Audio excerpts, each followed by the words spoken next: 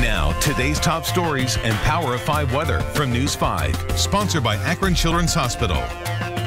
Hi there, everyone. Power 5 meteorologist Brian Shaw here. Mostly cloudy skies for today. A couple of sprinkles possible. It's going to stay pretty gray for us across northeast Ohio. Temperatures in the mid to upper 70s. Some of our southern spots into the low 80s. We'll have a little more clearing for this evening. Pretty nice for Friday night football as temperatures drop into the 60s. Now it's Nick and Terrence with our today's top stories. And making headlines today, Brian, a request from a man accused of killing a toddler. Joshua Gordo is asking for his trial to be moved. Police say he killed his girlfriend's 13-month-old daughter. We're waiting for a judge in Ashtabula County to rule on the new motion.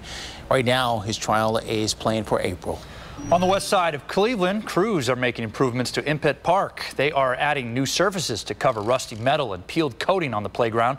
The Kamm's Corner Development Corporation says workers are also smoothing out sharp edges on equipment. And finally, something good on this Friday. KDP will have a new home next week. Someone hurt the cat with a firecracker in July.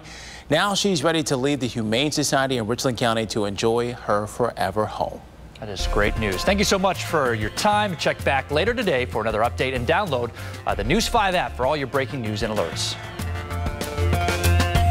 Sponsored by Akron Children's Hospital.